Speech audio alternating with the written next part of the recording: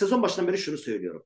Türkiye'de şu, bu sezon için söylüyorum bunu. Bu sezonu konuşuyoruz. Bu sezon için söylüyorum. Galatasaray Fenerbahçe tiyatrosu oynanıyor. Diğerleri figüran olarak yer alıyor.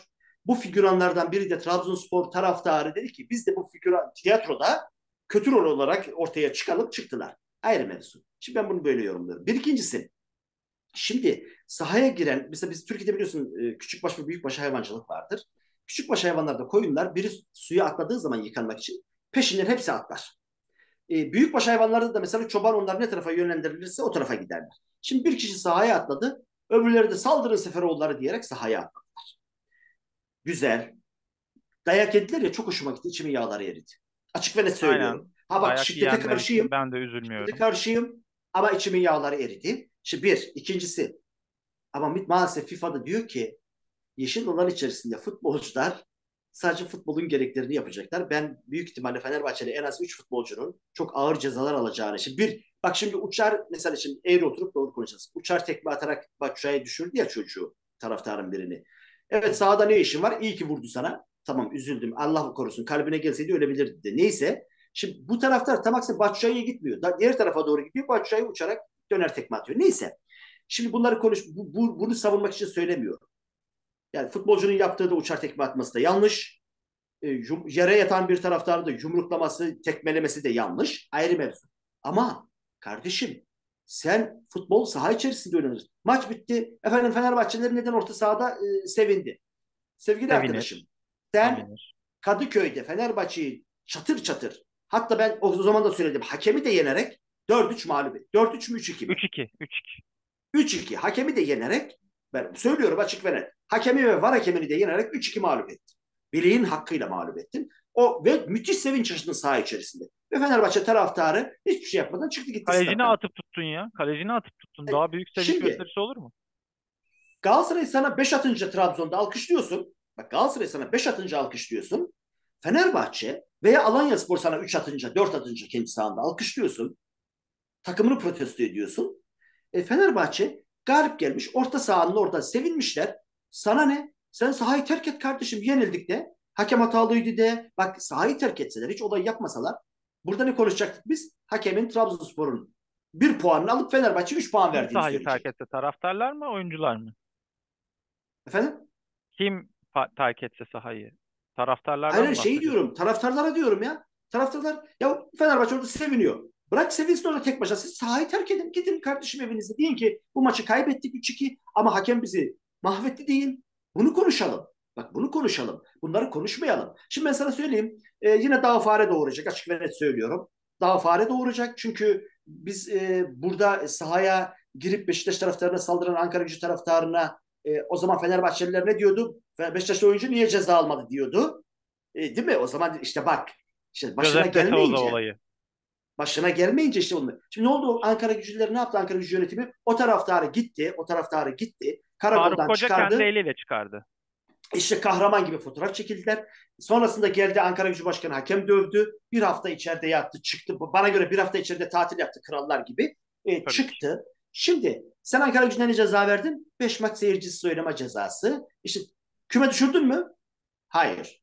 Şimdi e, hemen akabinde de sıcağı sıcağına Fenerbahçe Başkanı bana göre e, Fenerbahçe'yi yönetemeyen yönetim, bana göre Fenerbahçe'yi yönetemeyen yönetim, Fenerbahçe gibi büyük bir camiayı bana göre e, ben hep Aziz Yıldırım'ı eleştirirdik zaman zaman. Bayağı eleştirirdik. Şimdi ben açık ve net söylüyorum Aziz Yıldırım'ın mumla arar oldu Fenerbahçe bana göre.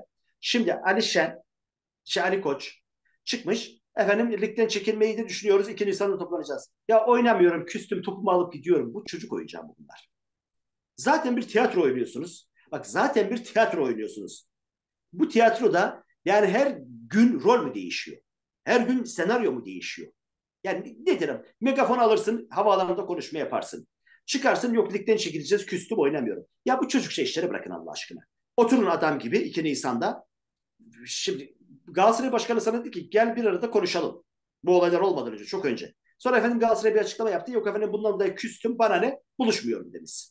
Ya bir araya gelin. Şimdi bak bana göre federasyon şimdi acilen, federasyon başkanı acilen şunu yapmalı. Bu İstifa cezalardan etmeli. bahsetmiyor. Yo yo istifa etmeli. Hiçbir şey yapmamalı. yo, istifa ya, etmeli. Lütfen Acilen. istifa aa, aşk olsun. İstifa ne demek? Öyle şey mi olur? Hayır canım. İstifa ne demek? Sence Şimdi ne yapmalı? istifa etmeyeceği için şunu yapması lazım. Hı hı. O 20 kulüp var Türkiye Süper Ligi'nde. 20 kulüp başkanını acilen Riva'da neredeyse artık güzel bir şekilde iftara davet etmeli. Oturup demesi lazım ki arkadaşlar ya bak bir federasyon başkanı karşım yumruğunu masaya 3 yıllığına seçiliyor ya 3 yıllığına. 3 yıllığına seçiliyor. Şimdi bir federasyon başkanı şunu demeli kardeşim seçilen. Ben 3 yıllığına seçildim. Bu futbolu düzeltmek için elimi değil gövdemi taşın altına koyacağım. Ben yumruğumu masaya vuracağım. 3 yıl sonra beni isterse seçsinler isterse seçmesinler. Ben ülke futbolu için radikal kararlar alacağım, devrimler yapacağım diyebilen bir adam çıkmalı artık. Yeter artık. Yeter artık. İcak. Yani şimdi Mehmet Büyükekşi bunu yapsa zaten 3 yıl oradasın. 3 yıl oradasın ya. Bunu yap. Yumruğunu masaya vur. Ondan sonra da git. Mehmet Büyükekşi'nin geçtiğimiz hafta UEFA Avrupa Konferans Ligi'nde Fenerbahçe'nin Belçikalı rakibini ağırladığı gün seferinin de olduğu olmasına rağmen Ali Koç'un bulunması sebebiyle Kadıköy'de maçı izleyemediğini, yani UEFA Başkanı oradayken Türkiye Futbol Federasyonu Başkanı'nın oraya gitmediğini biliyor muydun? Gitmemiş. Niye gitmiyor? Bakanlarla iftarı varmış. O yüzden UEFA UEFA'nın başkanının geldiği bir günde ülkenin federasyon başkanı müsaade olarak istersin. orada bulunmayı Hayır, uygun görmemiş. Müsaade istersin. Dersin ki Bahanesi bu ama tabii ki Ali Koç'la yan yana gelebilecek kadar bu bahane. Evet. Bu bahane, olmadığı aynen. için yani böyle bir adamdan herkesi toplayıp sükunet çağrısı yapmasını bekleyemeyiz. O adamın gece 11.30'da uykuya yatmadan önce yeter diye bağırdığını biliyoruz. O da zaten hiçbir de yaramadı. Evet yani bu e, Fenerbahçe başında mesela futbolcular bir kere ceza alacaklar. Yani o üç futbolcunun disipline sevk edileceği veya bilmiyorum kaç tane. Maç sonunda yani olan olaylar da çok ilginç. Elbette ki burada futbolculara bir e, ne yapılmalı? Tabii ki e, tolerans gösterilmeli, bir tahrik indirimi verilmeli, bir saldırı var elbette ki taraftarlara. Ama bütün bir pardon bir saldırı var elbette futbolculara. Ama uzak kameradan bütün görüntüleri izlediğimizde, birçok açıdan fotoğraflara baktığımızda şunu da gerçekten siyah beyaz izlersek bu videoyu görebiliyoruz ki evet futbolculara doğru saldırıya geçen bir insan var maskeli. Ama ve pekala. Futbolcunun orada kendisine dair güvenliği sağlayan kişinin dur ihtarına rağmen ben hallediyorum ya da diğer taraftan yeleklilerin o saldırgana doğru hareketleniyor olmasına rağmen o sayı Samuel'in bayağı gardını alarak taraftara yönlendiğini de görüyoruz. Aynı şekilde bugün başka görüntülerde ortaya çıktı. Siyah elbiseli güvenlikçi taraftarı yere indirdikten sonra güvenlikçi ya da değil Fenerbahçe'nin galiba bağlantısında olan biri. Futbolcuları korumak için orada olan biri. O kişi yere indirdikten sonra o sayı Samuel kendisine değmemiş olan, o ana kadar henüz değememiş olan taraftara saldırıyor. Bugün de Adalet Bakanı'ndan bir açıklama geldi. Görüntüleri izleyeceğiz. Futbolcu ya da taraftar eğer saldırı olarak nitelenebilecek bir şey varsa, nitelenebilecek bir şey varsa futbolcu ya da taraftar hepsine cezaları vereceğiz dedi. Fenerbahçe de bunun üzerine şöyle bir açıklama yaptı. Maç boyu bize şunu attılar, bunu attılar, onu ettiler, bunu ettiler, meşalemizi, meşale attılar, meşaleyi oyuncumuz kenara bıraktı. O kadar duyarlıydı gibi gibi gibi ifadelerle. Kenara bırakmadı. Kenara yani bırakmadı. Kenara Elini aldı gönderdi. salladı. Ya maç devam ediyordu o sırada. Hakemin hakeme göstermeye çalıştı orada sallarken de İsmail Yüksek yani. O kadar da değil. Ama bunu yaparken e, kendini e, ne kadar da baskı altında kaldığını ve hafifletmeye çalıştığını görüyoruz. Böyle bir açıklama geldi açıkçası. E, hiçbir şekilde o sayı Samuel'in yaptığının yanlış olduğunu söyleyen bir taraf Duymadım. Bir şey sorabilir miyim? Çok özür dilerim. Bir şey soracağım sevgili Volkan'cığım. O sayı Samuel. O Fenerbahçe'nin güvenlik görevlisi, futbolcuları koruyan güvenlik görevlisi veya kimse artık. O taraftarı yere indirdi. Dediğin gibi o yelekliler de geldi, güvenlik. Geldikten sonra o sayı Samuel. O taraftara gidip yerdeki taraftara saldırıp yumruklamasaydı. Sence e, olaylar bu kadar e, alevlenir miydi? Bence alevlenmezdi. Bakın şunu da söyleyeyim. Jadon Osterwalde evet böyle bir olta atıyor işte Hamsi vesaire Evet. dalga geçiyor. Okey bu kışkırtıcı bir şeydir. Buna ne verir? Hakem gözlemci sonra sarı kart verir, bir maç ceza verir. Verir. Verilir. Ee, sonra sahaya giren bir o taraftar var değil mi? Sahaya giren bir taraftar varsa e, önce zaten taraftarlar arkasından ilk gelmez. Ne yapıyor bu adam denir. Güvenliklerin oraya gittiği görülür ve taraftarlar çekilir. Ama futbolcu olarak sana koşan birini görüyorsan ve zaten orta sahanın ortasına çok yakınsan ve hala da bir mesafe de varsa bence senin en başta söylediğin gibi sorumluluk alarak tünele doğru yönelmen lazım senin. Senin işin o değil. Elbette ki yine bir kere daha söylüyorum. Maç boyunca o sayı Samuel oynadığı o çizgide yabancı maddelere maruz kalmıştır, şudur budur vesaire. O zaman siz bunu meşrulaştırıyorsanız ama ben o zaman şunu da meşrulaştırıyorsunuz demektir. O sayı Samuel maç içinde kendisine biri bardak attı diye ayakkabısı, çivili ayakkabısını çıkarıp futbol şeye taraftara atmalı. Siz bunu savunuyorsunuz o zaman. Evet. Çünkü deniyor ki işte futbolcunun saha futbolcunundur. Oraya girersen saldırırlar. Yani evime girdi, evine girmek gibi bir şeydir. Sen uyurken ya da işte mutfakta bir şey keserken arkadan sana biri evine girse sen ona saldırmayacak mısın? Yok öyle bir öyle bir karşılaştırma yapılamaz. Yok. Taraftarın, hayır saldıramazsın. Taraftarın Futbol kuralları vardır. Engellenebilir bir şeydir. Engellenemediği durumlarda taraftarı durdurma görevi futbolcuya ait değildir. Evet futbolcuya saldırmak üzere giriyor olabilir ama sen orada kendini yelekli ya da antrenörünün ya da senin güvenliğini sağlamaya çalışan orada kulüp görevlisin arkasına geçmek durumundasın. Ona yönelirsen bir kere suçu da başlatan kişi sen oluyorsun. Ben benim görüşüm bu. Ayrıca Jadon Osterwolde'nin yaptığı yerde yatan birine kafaya tekme atıyor. Halil Umut Meler'e tekme atandan ne farkı var bunun? Farkı yok. Yok. Evet yok. Aynen katılıyorum. Farkı yok. Çünkü sonuçta yerde yatana dediğin gibi savunmasız birine kafasına tekme atıyorsun.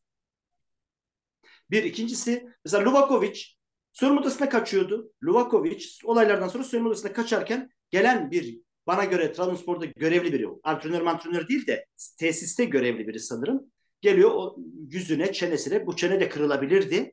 Yumruk atıyor. Yumruk atıyor. Bayağı kroşe atıyor. E, bak bu, bunu bak bunu eleştirelim. Yerden yere vuralım.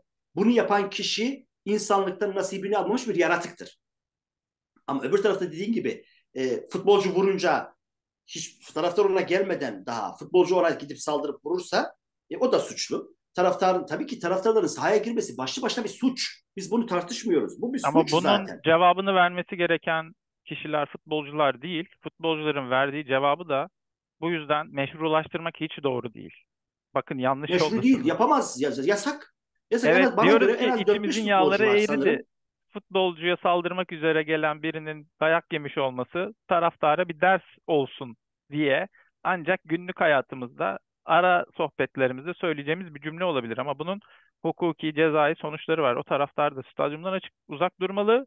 Aynı şekilde ona doğru yönelen futbolcular da Jadon Osterwolde de, Osayi de hatta Michi Başak'ı de ceza alması gereken benim tespit ettiğim 3 Fenerbahçe evet. futbolcu. Bir, bir... Diğer taraftan Egemen Korkmaz görüntüler de var. Trabzonsporlu başka oyuncular var. Onlar da tespit edilip tabii ki ceza almalı. Ceza Ama bu, burada öne çıkan görüntülerde de öne çıkanlar belki forma rengi çok daha kolay tespit edilebildiği için de Fenerbahçeli oyuncular belki saldırının ilk ve direkt e, mağduru olacakken saldırının bir parçası olan yani bir saldırı olayının parçası şey gibi oluyor yani haklıyken haksız duruma düşüyorsun gibi oluyor. Ne yazık ki ama bunu bile normalleştiriyorlar ama bize saldırıyorlardı. Ya bir Hayır saldırı efendim, gerçekleşti. O zaman ben şimdi hakemim. Futbolcu mesela hakem diyor ki hakeme diyor ki mesela kendini savun. Futbolcu sana vurdu diye sen futbolcuya vuramazsın diyor. Şimdi o zaman ben de hakeme futbolcunun ağzını burnunu kırayım mesela. Örnek veriyorum. Şimdi sen dediğin gibi futbolcusun baktın ki taraftarlar girdi sahaya. Koş koridora doğru söylüyorsun. Zaten güvenlik girdi sahaya. Zaten güvenlik zaten güvenlik zaafı vardı. Taraftar sahaya girdi ama ondan sonra güvenlik koşuyor zaten. İşte orada e, görevliler koşuyor. Sen soyunma odasında koşacaksın kardeşim. Taraftara koşmayacaksın dövmeye. Ya da olduğun yerde ikincisi Eren Elmalı'yı mesela şimdi yeni düştü o fotoğraflar. Eren evet. Elmalı mesela ayırmaya çalışıyor. Aman evet. böyle taraftarlara itiyor. Ayırmaya çalışıyor. E şimdi bu da var. E şimdi tabii ki orada herkes dövmek için girmemiş. Yani yetkililerden bahsediyorum. Ama kardeşim ya işte bak şimdi. Yine başa döneceğiz. Sen zamanında atıyorum bir şey soracağım sadece. Ankara gücü bu olaydan sonra küme düşürülseydi bu olaylar yaşanır mıydı? Gene yaşanırdı ben sana söyleyeyim. Hayır bu kadar Burası olur muydu Türkiye. yani? Bak şimdi ha Daha yaşanırdı. fazlası olurdu. Şimdi bak şimdi yaşandı diyelim. O takımı da küme düşüreceksin. Bir daha mı yaşandı? Onu da düşüreceksin. Bir daha bu var 1, 2, 3, 4, 5 diyecekler ki aa arkadaşlar Bunlar sakın ciddi ha. Lig Mesela benim arkadaşım var takım kalmadı. Trabzon'da. Yani e, Trabzon'da amatör bir spor kulübünün başkanı. Yerel bir gazetede köşe yazıyor. Hatta hafta içi uyardı. Taraftar sahaya gelecek. Genç taraftarlarımıza özellikle sesleniyorum dedi yazısında. Lütfen dedi takımınızı sadece destekleyin. Skor her ne olursa olsun takımınızı destekleyin. Takıma zarar verecek herhangi bir şey, şehre zarar verecek herhangi bir şey yapmayın diye yazdı. Köşesinde yazdı ya hafta içi yazdı. Yani uyardı. Uyardı. Şimdi yetkililer ne söylerse söylesin. Peki bir şey diyeceğim. Ee, hani taraftarın yaptığı şehri etkileyecek bir şey olmuyordu? Niye peki önceden şeh- şehri etkileyecek bir şey yapmadın, yapmayın diye bir uyarı gereği hissediyor bir köşe yazarı, bir gazeteci? Çünkü Neden daha önce olduğu şehire? için Hayır hayır hani deniyorlar ya, deniyor ya bu olay bütün şehre mal edilemez. Peki bir içeride ya içerideki yerel gazeteci aynı şehirdeki niye kendisi diyor de şehrimize bu getirecek bir şey şey yapmayın. Bir amatör spor kulübünde başkanı. Demek ki Futbola kendini şuna, adamış. şunu demek istiyorum. Hani herkes diyor ya her şeyi Trabzon şehrine bağlamayın. Şehir, şehrimize böyle leke sürmeyin. Ya Ya bağlanıyor işte. Bak kendi şey sana. kendi gazetecin kendin sorumlu tutuyor olacaklardan. Kendi şehrindeki bir futbol kulübünün kişisi diyor ki aman yapmayın şehrimize zeval gelmesin. Buradan tüm şehir sorumludur. Bu- Bunu neden bir kere daha vurguluyorum? Çünkü işin içinden kaçıyor herkes. Ya işte 20 tane ak- aklı evvel oraya girdi. O Hayır 20'yi o abi zaman öyle bir şey kendi değil. içinde eriteceksin. Öyle değil yani. O 20 kişi senin bütün Peki şunu dünyadaki sorayım. imajını... Ben bugün işe geldim. İşe geldim. Almanya'da yaşıyorum. Arkadaşım, iş arkadaşımın ilk sorduğu şey ne oluyor Fenerbahçe Trabzon maçında? Hayırdır dedi yani. Adamın Şunu sorduğu ilk şey bu Türkiye futboluyla alakalı. Ben dedim Şimdi ki bu bir mesela ülke rutini yani kanka kusura bakma. bu olay yaşandı Trabzon'da. Trabzon'da yaşandı veya İstanbul'da önemli değil. İstanbul'da, Sivas'ta, Ankara'da neyse yaşandı bu olay.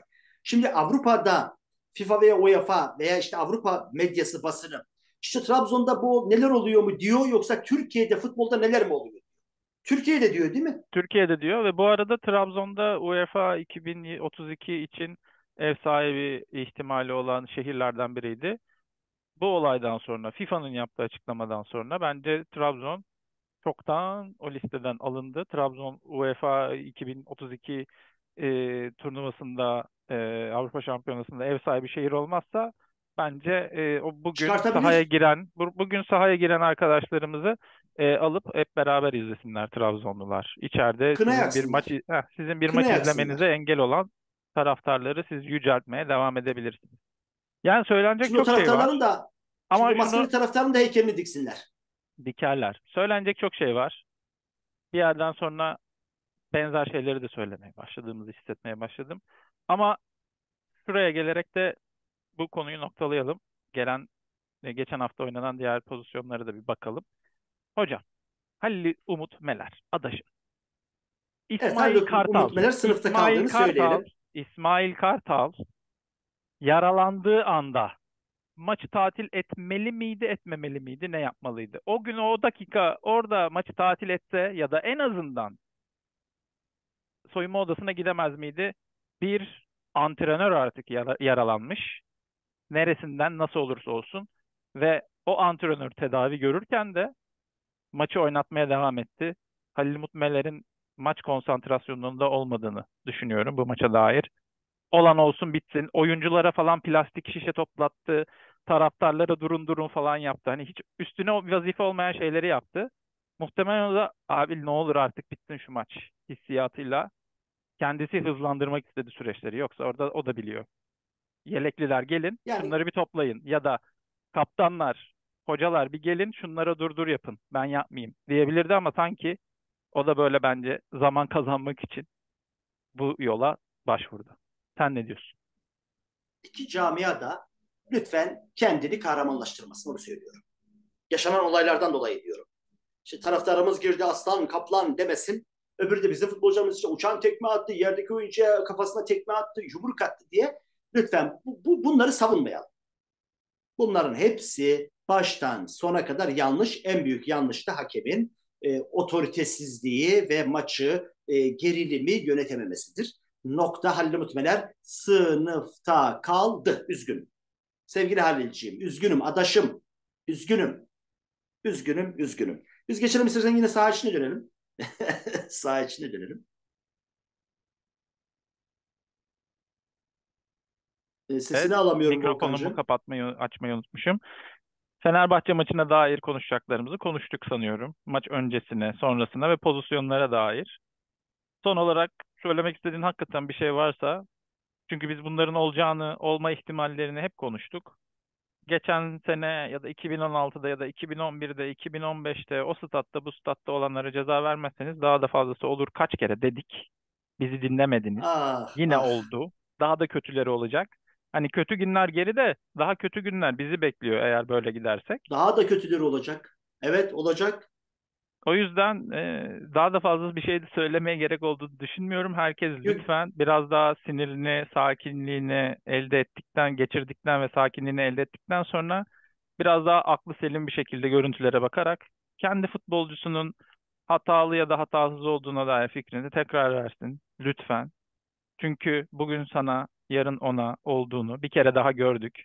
İşte Beşiktaşlı Josef de Souza'ya saldırıldı. Sonra Fenerli'ye saldırıldı. İki konuyu yorumlayan bir kişi aynı takımı tutan farklı yorumlar yapmaya başladı. Bu böyle bir şey değil. Renk körüyüz, renk. Renk körü olduk Aynen. maalesef. Bu Renk renk körlüğü körlüğünden içinde renk körlüğü Evet. tedavisi olalım lütfen.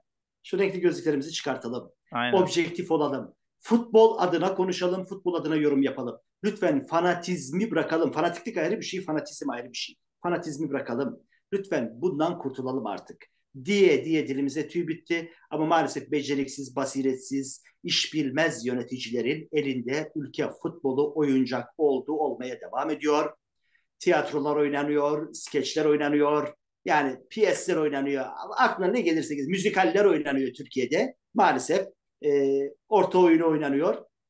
Onun için bu olaylar dediğim gibi daha da şiddetle devam edecek. E, devam etmeye çünkü cezalar caydırıcı olmayacak. Yine ahbap çavuş ilişkisiyle beraber cezalar örtbas edilecek. 3 maç, 5 maç, 10 maç neyse ceza verilecek. 2-3 maç futbolculara ceza verilecek falan filan. E, bu işte bitecek. Hakem Ali muhtemelen diyecekler işte seni de işte 5 maç dinlendiriyoruz veya sizin sonuna kadar dinlendiriyoruz. Geç kardeşim bu böyle olmaz. Olmayacağı da aş- aşikardır. Ben söylüyorum. Buradan bir kere daha duyuruyorum. Ülke futbol hakem camiasının reçetesi Halil İbrahim Dinçdağ'dadır. Hiç de mütevazi olmayacağım kardeşim. Olmayacağım, olmayacağım. Ağzına sağlık Bitti. Ali.